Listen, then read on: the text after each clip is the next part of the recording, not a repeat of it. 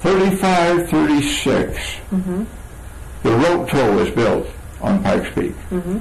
And Don Laurie was the president of the ski club. Mm-hmm. And Betty and I went to the ski club meetings.